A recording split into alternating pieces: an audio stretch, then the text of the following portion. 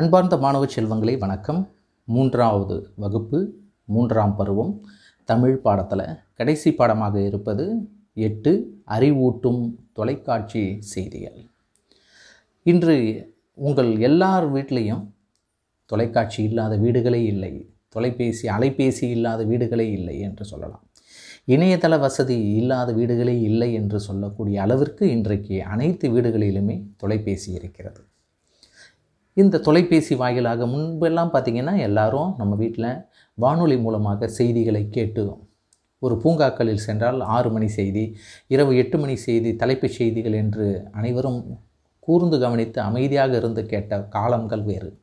இன்றைக்கு ஒவ்வொரு வீடுகளிலும் தொலைக்காட்சிகள் இருக்கிறது. தொலைக்காட்சிகள் வீட்டை ஆக்கிரமித்திருக்கின்றன என்று சொல்லலாம். நமது வீட்டில் இருக்கக்கூடிய பெரியவர்கள் ஓய்வு நேரங்கள் மட்டுமல்ல எப்போதுமே வீட்டில் தொலைக்காட்சி ஓடிக்கொண்டே இருக்கக்கூடிய நிலைமையும் இன்று இருக்கிறது. இன்று பள்ளி பிள்ளைகளாகிய நீங்கள்லாம் கூட லீவில் விடுமுறை விட்டால் தொலைக்காட்சியில் இன்றைக்கு இணையதள வசதி இல்லைனாலும் வீட்டில் கேபிள் டிவி கனெக்ஷன் எடுத்து அதில் பொம்மை படம் பார்க்குறோம் என்று சொல்கிறீங்க எப்போ கேட்டாலும் வீட்டில் பொம்மை படம் தான் பார்க்குறாங்க என் பிள்ளை அப்படின்னு பெற்றோர்கள் வந்து உங்கள் பெற்றோர்கள் வந்து நிறைய கம்ப்ளைண்ட்லாம் பண்ணுறாங்க அப்படி இருக்கக்கூடிய இந்த காலகட்டத்தில் இன்றைக்கு அறிவூட்டும் தொலைக்காட்சி செய்திகள் என்று சொல்லும்போது இந்த தொலைக்காட்சியின் வழியாக நாம் நல்ல விஷயங்களை என்னென்ன தெரிந்து கொள்கிறோம்? என்னென்ன விஷயங்களை நாம் ஆக்கப்பூர்வமாக தெரிந்து கொள்ளலாம்? என்ன நல்ல விஷயங்களை நம் வாழ்க்கைக்கு தேவையானதை பயன்படுத்தி கொள்ளலாம் என்பதை பற்றிய பாடம்தான் இந்த பாடம். இந்த பாடம் மட்டும் இல்லை நம்மளுடைய வாழ்க்கையில் தினமும் காலையில் தூங்கி எழுந்தவுடன் பார்த்திங்கன்னா வானொலியை வைத்திங்கன்னா இன்றைக்கி வானொலி இல்லைன்னு சொல்லலாம். ஆனால் வானொலி பெட்டி இல்லைனாலும் இன்றைக்கி வீட்டில் இருக்கக்கூடிய செல்பேசியில் அலைபேசியில் நம்மளோட ரேடியோன்னு ஒன்று இருக்குது அதில் நீங்கள் வச்சிங்கன்னா தமிழ் பண்பலையில் நம்மளுக்கு சென்னை வானொலி நிலையம் புதுவை வானொலி நிலையம் திருச்சி காரைக்கால் நமது ஊருக்கு அருகில் உள்ள மதுரை வானொலி நிலையம் கோவை வானொலி நிலையம் என்று நிறைய வானொலி நிலையங்கள் இன்று பண்பலை என்று சொல்லக்கூடிய எஃப்எம்.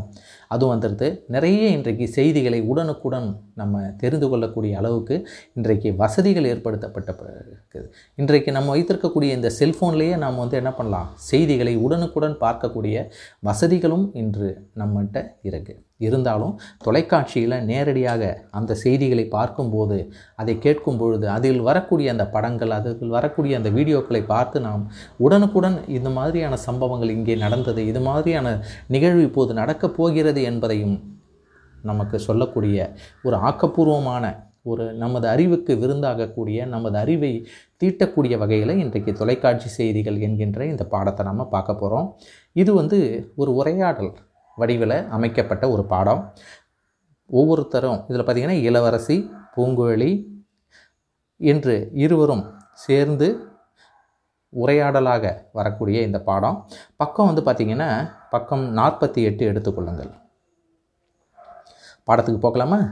இப்போ ஒரு நாள் மாலை பொழுது இளவரசி பூங்குழலி இருவரும் பள்ளி முடிந்து வீடு திரும்பினர். அப்போது திடீரென்று வானில் ஒலி கேட்டது. மேலே பார்த்ததும் விமானம் ஒன்று பறந்து சென்று கொண்டிருந்தது. சிறிது நேரத்தில் வானத்தில் கருமேகங்கள் சூழ்ந்து பேரொளியுடன் இடி இடிக்க தொடங்கியது. அச்சமயம் பெய்த மழைத்தூறல் இளவரசியையும் பூங்குழலியையும் நனைத்தது. இளவரசி நாம் வீட்டிற்கு செல்வதற்குள் முழுவதுமாக நனைந்து விடுவோம் போல் இருக்கிறதே. அதோ அந்த கடையில் சிறிது நேரம் நின்றுவிட்டு மழை விட்டதும் செல்வோமா? பூங்குழலி சரி நாமாவது மழையில் நனையாமல் இருக்க இங்கே ஒதுங்கி விடுகிறோம். ஆனால் வானில் பறக்கின்றதே விமானங்கள். அவற்றின் பாதையை இந்த கருமேகங்கள் மறைக்காதா?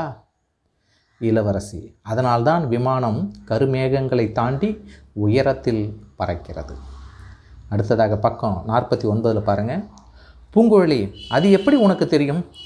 இளவரசி நான் தொலைக்காட்சி நிகழ்ச்சி ஒன்றில் இதை பார்த்தேன். அதில் விமானம் பறப்பது பற்றி விரிவாக கூறினார்கள். பூங்குழலி. அப்படியா? தொலைக்காட்சியில் இது பற்றியெல்லாம் சொல்கிறார்களா? இளவரசி ஆம் பார்ப்பதற்கு மிகவும் ஆர்வமாக இருந்தது. விமானம் உயரத்தில் பறக்குமாறு வடிவமைக்கப்பட்டுள்ளது. புயல் மேகக்கூட்டம் இடி மழை போன்றவற்றால் அதன் பயணம் பாதிக்கப்படுவதில்லை என்பதை குறும்படம் மூலம் விளக்கினார்கள். பூங்குழலி கேட்பதற்கே விவப் வியப்பாக இருக்கிறதே. வேறு என்னென்ன நிகழ்ச்சிகளை நீ தொலைக்காட்சிகளில் பார்த்திருக்கிறாய்? மழை தூறலாகத்தான் இருக்கிறது. பேசிக்கொண்டே செல்வோமா? இளவரசி கொஞ்சம் பொறு மழை இன்னும் விடவில்லை. சற்று நேரம் கழித்து செல்வோம். இடி சத்தம் காதை பிளக்கிறது. பூங்குழலி இடிதானே இடிக்கிறது. மழை பெரிதாக பெய்யவில்லையே. மழை வந்தால் மரத்தடியில் ஒதுங்கி நின்று விடலாமே பக்கம் ஐம்பதில் பாருங்கள் இளவரசி.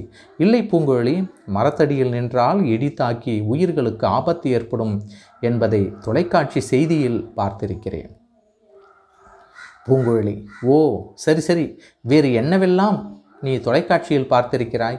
இளவரசி பொம்மை படங்கள் விளையாட்டு நிகழ்ச்சிகள் செய்து பார்ப்போம் போன்ற ஏராளமான நிகழ்ச்சிகளை கூட பார்த்திருக்கிறேன். பூங்குழலி தொலைக்காட்சி என்றாலே பொழுதுபோக்கும் ஒரு கருவி என நான் நினைத்திருந்தேன். தொலைக்காட்சி என்றாலே பொழுதுபோக்கும் ஒரு கருவி என நான் நினைத்திருந்தேன். அதனால்தான் திரைப்படம் திரைப்பட பாடல்கள் நாடகத் தொடர்கள் போன்றவற்றையே அடிக்கடி பார்க்க நேரிட்டது. ஆனால் நீ கூறியது போல் புதிய செய்திகளை அறிந்து கொள்ளவும் அறிவை விரிவு செய்யவும் தொலைக்காட்சி உதவும் என்பதை இப்போது நான் புரிந்து கொண்டேன். இனி நானும் இவை போன்ற நிகழ்ச்சிகளை பார்த்து பயனடைவேன். இளவரசி. மகிழ்ச்சி. இனி நாள்தோறும் புது புது செய்திகளை தோழிகளுக்கு நாம் இருவருமே சொல்லலாம். சரி இப்போது மழை நின்றுவிட்டது. வா வீட்டுக்கு போகலாம்.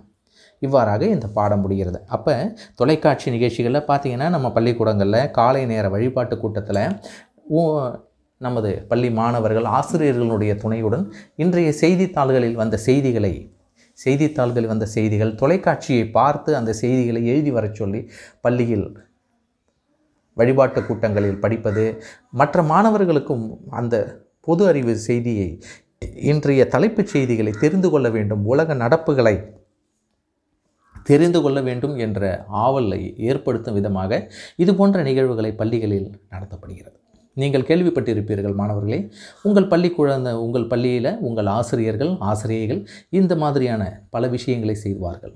செய்தித்தாள்களை வாசிப்பது பொது அறிவு விடுகதைகள் புதிர்கள் ஆங்கிலத்தில் செய்திகளை வாசிப்பது அதனுடைய தலைப்புச் செய்திகளை மட்டும் முக்கியமான அறிவியல் செய்திகளாக இருந்தால் அவற்றை ஆசிரியர் படித்து வந்து அதை துணுக்குகளாகவும் அந்த செய்தித்தாள்களையோ அல்லது செய்திகளையோ தனது தொலைபேசி வாயிலாகவும் உங்களுக்கு அலைபேசி வாயிலாகவும் உங்களுக்கு காட்டுவார்கள்.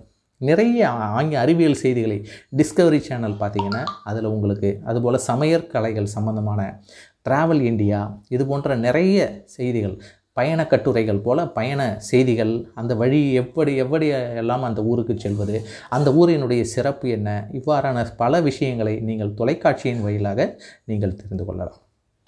உங்கள் பெற்றோரிடம் சொல்லி அந்த மாதிரியான இடங்களை நீங்கள் தேர்வு செய்தால் உங்கள் ஊ ஊருக்கு அருகில் உள்ள அந்த இடங்களை நீங்கள் தொலைக்காட்சியின் வழியாக நீங்கள் பார்த்த விஷயத்தை நீங்கள் நேரில் சென்று அங்கு பார்த்து பயன்பெறவும் உங்களுக்கு அந்த தொலைக்காட்சி உங்களுக்கு ஒரு உறுதுணையாக இருக்கிறது. பொம்மை படங்களும் கார்ட்டூன் பிக்சர்ஸ் மட்டும் பார்த்தா போதாது. அது ஒரு சிறு நேர மணித்துளிகள் பார்த்துவிட்டு நாம் மற்ற அறிவுக்கு விருந்தாகக்கூடிய நமது அறிவை செம்மைப்படுத்தக்கூடிய பல செய்திகளையும் நல்ல விஷயங்களையும் தெரிந்து கொண்டு வாழ்க்கையில் முன்னுக்கு வரலாம். தொலைக்காட்சி என்பது நம் கண்ணுக்கும் காதுக்கும் மட்டுமல்ல அறிவுக்கும் விருந்தளிக்கக்கூடியது என்பதை பற்றியெல்லாம் இதில் சொல்லியிருக்காங்க உங்களுக்கு. அப்போ நமது அறிவை எவ்வாறு நாம் செய் தெரிந்து கொள்வது? ஒரு பொது அறிவு வினாடி வினா நடத்த நடத்துவது ஒரு பட்டிமன்றம் ஒரு தலைப்பின் கீழே பட்டிமன்றம் நடத்துவது இவற்றை பற்றிய பல செய்திகள் அதாவது முக்கியமான விழாக்களான தீபாவளி பொங்கல் இது போன்ற விழாக்களின் போது பார்த்திங்கன்னா அன்றைக்கு அதிகமான வீட்டில் இருக்க அனைவருமே ஒரே இடத்துல உட்கார்ந்து இந்த தொலைக்காட்சியில் பட்டிமன்றத்தை பார்ப்பார்கள். கவிதை மன்றம் பட்டிமன்றம் பாட்டு மன்றம் இது போன்ற பல விஷயங்களை பார்ப்பார்கள். அது ஒரு தனி மனிதனுடைய திறமைகளுக்கான விருந்து மட்டுமல்ல நமது திறமைகளுக்கும் நம்மை ஊக்குவிக்கக்கூடிய நிகழ்ச்சிகளாக அவைகள் இருக்கின்றன.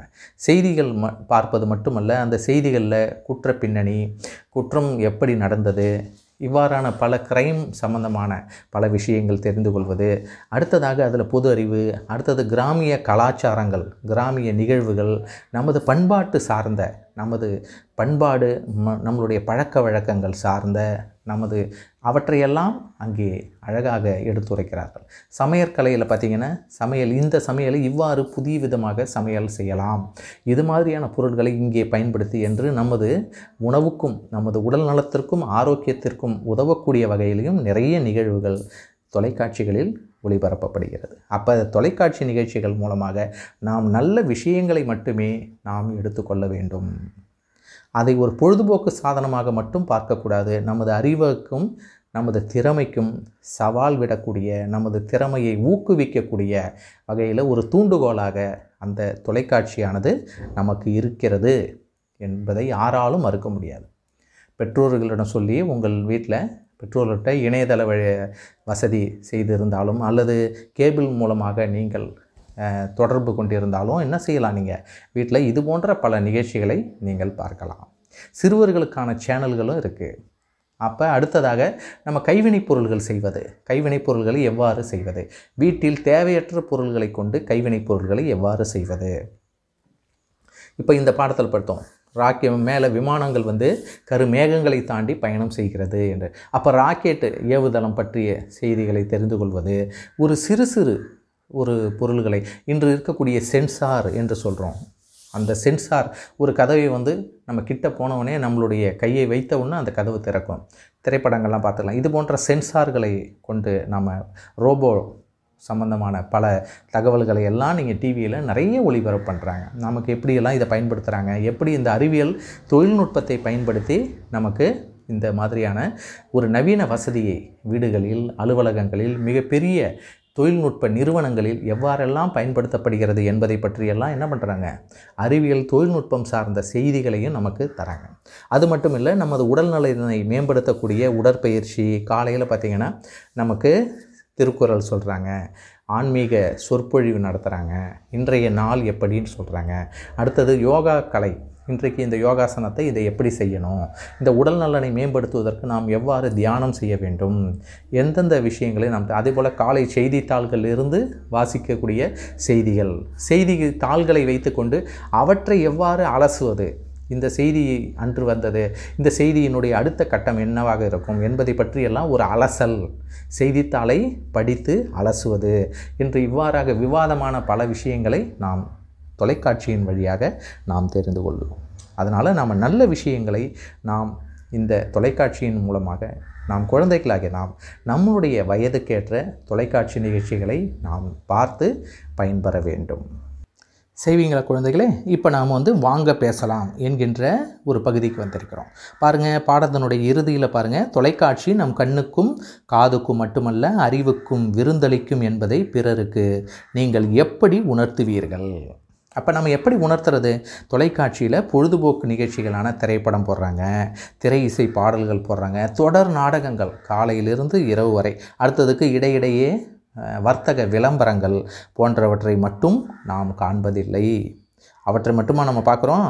நம் அறிவை வளர்க்கக்கூடிய கல்வி வேளாண்மை விளையாட்டு மருத்துவம் தகவல் தொழில்நுட்பம் பொறியியல் மற்றும் சமையல் போன்றவற்றை பற்றிய அறிவையும் தொலைக்காட்சியின் மூலம் நாம் பெறலாம். அப்போ வெளிநாட்டில் நடைபெறக்கூடிய நிகழ்வுகள் நமது உள்ளூரில் நிகழக்கூடிய செய்திகள் உள்ளூர் செய்திகள் மாநில செய்திகள் மாவட்ட செய்திகள் அடுத்தது நமது இந்தியா முழுவதும் பற்றிய செய்திகள் உலகம் முழுவதும் உள்ள செய்திகள் அனைத்தையும் உடனுக்குடன் தெரிந்து கொள்ள தொலைக்காட்சி நமக்கு உறுதுணையாக இருக்கின்றது. இதில் ஏதாவது சந்தேகம் இருக்கா? இல்லை. அப்போ நாம் வந்து தொலைக்காட்சியை நமது அறிவுபூர்வமான பல விஷயங்களை நமது நாட்டு நடப்புகளை தெரிந்து கொள்வதற்கு பல துறை சார்ந்த தகவல்களை தெரிந்து கொள்வதற்கு வேலைவாய்ப்பு செய்திகளை தெரிந்து கொள்வதற்கு இவற்றையெல்லாம் போட்டித் தேர்வுகள் யாரெல்லாம் வந்து இப்போது ஐஏஎஸ் தேர்வுக்கு தேர்ச்சி பெற்றுள்ளனர் யார் முதல் மதிப்பெண்கள் பெற்று தேர்ச்சி பெற்றுள்ளனர் இப்போது மாறுதலான மாவட்ட ஆட்சியர்கள் யார் யார்? இப்போ காவல் கண்காணிப்பாளர்கள் யார் யார்? இவ்வாறு புது புது செய்திகள் ஒரு ஊரில் நடக்கக்கூடிய நல்ல விஷயங்கள் கெட்ட விஷயங்கள் எவற்றாக இருந்தாலும் அவற்றை நாம் தெரிந்து கொள்வதற்கு இந்த தொலைக்காட்சி உடனுக்குடன் நமது வீட்டு வரவேற்பறையில் உடனுக்குடன் தெரிந்து கொள்ள நமக்கு அது உதவுகிறது. இல்லைங்களா? அடுத்தது பாருங்கள் படிப்போம் சிந்திப்போம். எழுதுவோம். இந்த பகுதிக்கு வரும். இப்போ நாம் பாடத்தினுடைய பயிற்சிகளுக்கு வந்திருக்கிறோம். இப்போ பாடத்தினுடைய பயிற்சிகள் என்னென்ன இருக்குது அப்படின்றத நம்ம அடுத்த இதில் பார்க்கலாம். நன்றி வாழ்த்துக்கள்.